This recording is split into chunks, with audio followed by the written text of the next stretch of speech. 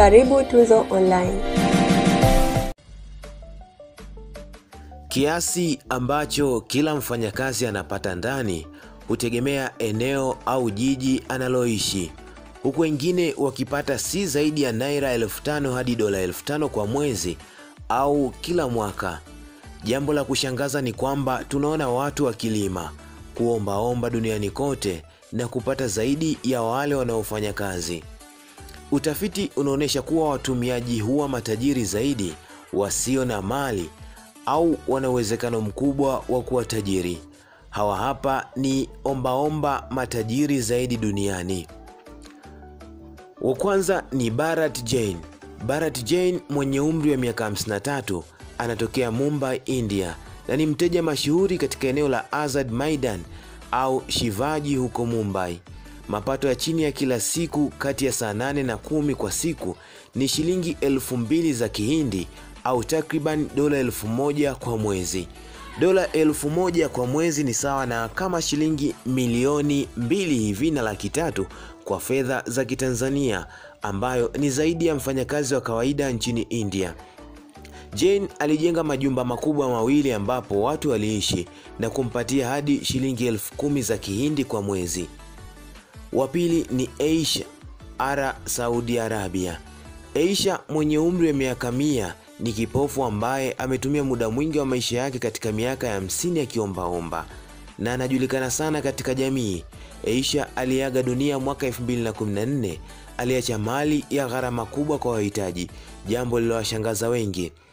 Aliacha nyuma kiasi kikubwa cha mali ikiwa ni pamoja na dhahabu, mikufu na bangili, hasa katika eneo la Al-Balad Al-Jeda lililopo Saudi Arabia.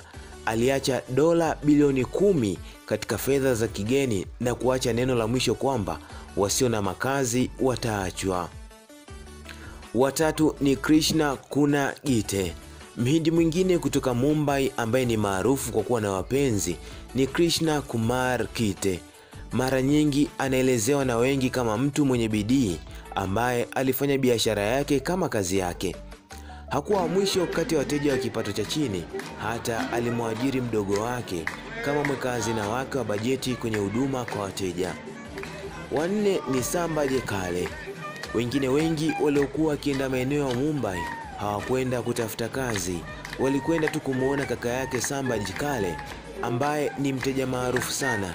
Sambaj anaendesha biashara ya nyumbani na familia yake ya watu wanne inapata dola elfu moja kwa siku. Imagine mtu anaingiza milioni mbili na laki tatu kwa siku. Isitoshe, Sambaj ana vitega uchumi na baadhi ya mashirika makubwa duniani na anatengeneza pesa kila mara. Vilevile vile ni kweli ana nyumba kubwa, lakini si nyumba na pekee miongoni mwa mali zake. Watano ni Saravatia Devi. Ni mteja maarufu katika eneo la Patna na ni mojawapo ya chapa zinazotafutwa sana duniani. Watu wanajulikana kuwa ni wakubwa katika eneo hilo wanaombaomba, na hakuna wa kugeukia mkoa wetu kuomba fedha. Huenda amekuwa katika biashara hii kwa miaka 35 akiwa na akaunti ya akiba katika benki.